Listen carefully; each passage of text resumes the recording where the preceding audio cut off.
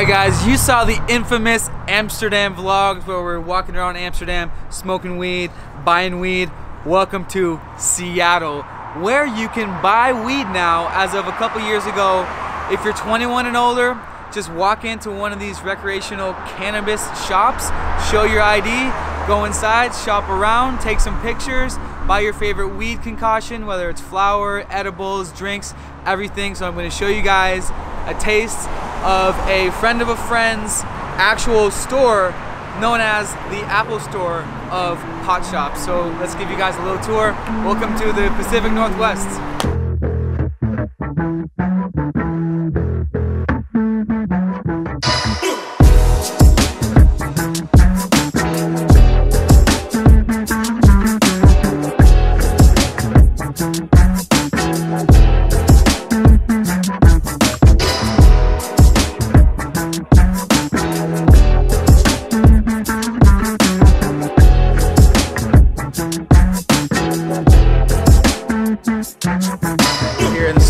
Now. I'm here with uh, Lena, and you can kind of just ask them anything you want.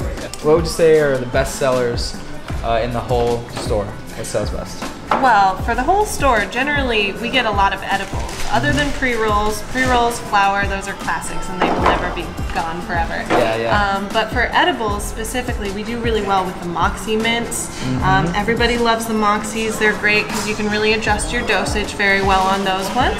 Um, followed by probably the Illuminations by Verdelux. Those ones are just really nice ones, a little bit higher milligrammage because Washington State reduced our reduced our dosage on a lot of these edibles.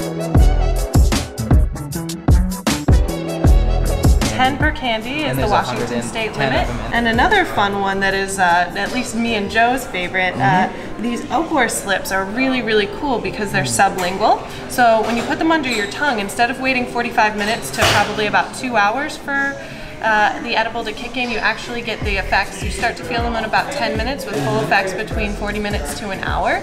And they're a lot more strain specific. We want people to understand what is happening with their cannabis experience. So we therefore put the two main categories of strains on a spectrum here.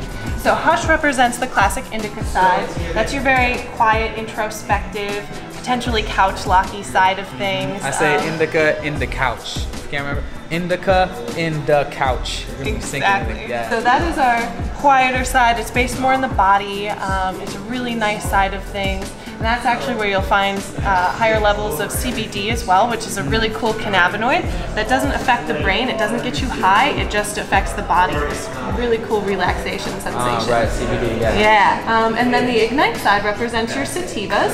So sativas are based a lot more in the mind. They're uplifted, they're energetic, they're social. I had somebody recently come in and say sativas are for divas, and that helped me a little Okay. bit more like for people to remember that side of things too. Cool. High energy. Yeah. Um, this is also the side where you can sort of find a little bit more paranoia potentially, sort of spinning thoughts, racing. If you don't know about weed, it's famous to come up with ideas, like really funny ideas, good ideas, creativity with weed, um, but paranoia at the same time because it kind of massages your brain and brings out uh, inner thoughts. We'll put it that way. So That's a great way to describe Yeah, it, actually. thanks. And then Unwind and Flourish represent hybrids that were bred from sativas and indicas, and that's where most edibles will sit for you, is right in between Unwind and Flourish because they're processing through the body a little bit differently.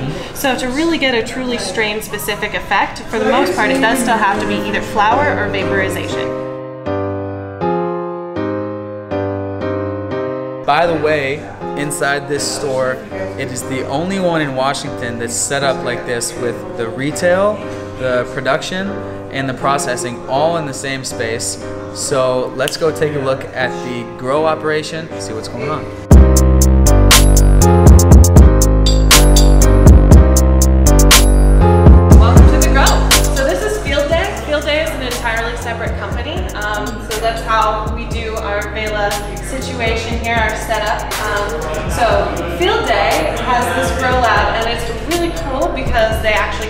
Display growing flowers. Most people have never seen a flower that wasn't in somebody's college dorm closet or something Yeah. like that. Yeah. Beep, beep, beep. What's really nice is you get to actually see the plants and it gets to be a lot less intimidating because there's been all sorts of propaganda, but they're just plants and they're in there doing their planty little thing. We just got in these bad boys today, so we're really excited about it. Um, so there's a couple of different things going on in this room that sort of show you a different couple of phases of flowers. So in these front tables, these are clones. Um, you can either grow from seeds or from clones, but from clones, you know whether or not it's a male or a female plant. And when you're growing indoors, a lot of the time you want it to be female so that you don't ever get seeds. We buy from all sorts of people. It has to be from within Washington State. This is just one of something approaching eight to 10 producers that we carry, I believe, just for flower. Um, and we have other producers that do other things like edibles and concentrates, all that other good stuff. So down here in the drying room, one of the ah, so one of the things that makes it really cool is to see the entire process of the plants. Um, you can actually see Washington State's traceability. Washington State will trace it all the way. Um, and, they, and these have been drying in here for about a week and a half, maybe as many as two weeks now. If you dry it too slowly, you risk damaging your cannabinoids. Like I said, cannabinoids are things like CBD, like THC, and we're super familiar with those two, but there's over a hundred in the plant. So as we get more research done, we're really gonna be able to separate out a lot of cool things that you can do with cannabis. Yeah, fine tuning. So the next is the extraction lab. Um, and there's some really cool stuff back there. Oh, but there's no photography back there. There's no photography But back we can there. just go and look. Um, yeah.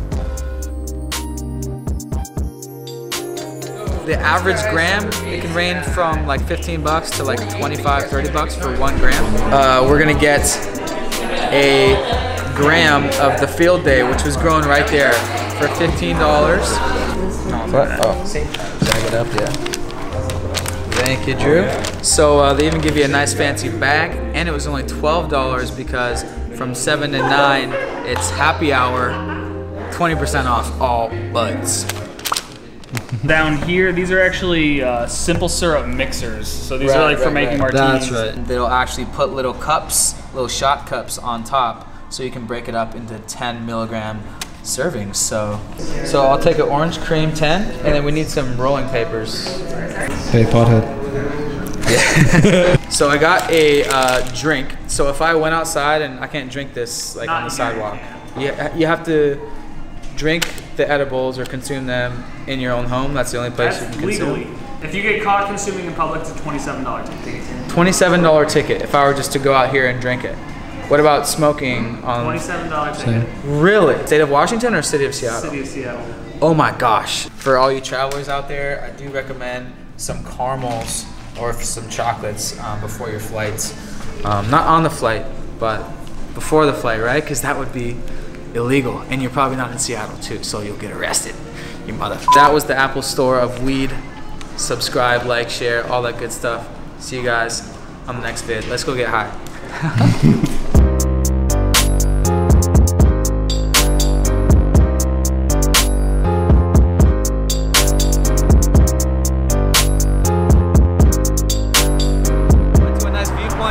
guys what the city looks like, and I have my cannabis orange cream soda. I'm gonna try it for you guys. Weed drink, who knew, man? We live in the future.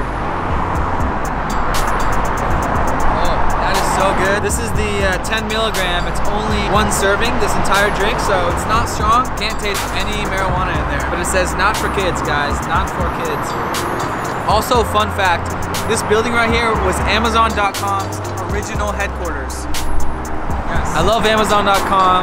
I'm an Amazon seller. I've been traveling for two and a half years, just running my Amazon business from my laptop. So if you don't know who I am, that's what I've been doing. I got a lot of travel videos, Southeast Asia, Africa a bit, Philippines, Europe a bit, Amsterdam. We got a good Amsterdam video. Check that one out. So uh, see you guys in Seattle. And I hope a cop comes because I would love to get a $27 ticket. This is the view of Seattle. We got Seahawks and Mariners right here. Go to a game when you come to Seattle. Get a joint, smoke some weed. It's only $27 ticket, so it's basically not illegal. It's totally decriminalized. So hopefully we can see some cops and we can document that process. I know, it just looks so good to see It's good stuff. Good. It's good. It looks so good to see stuff that looks good.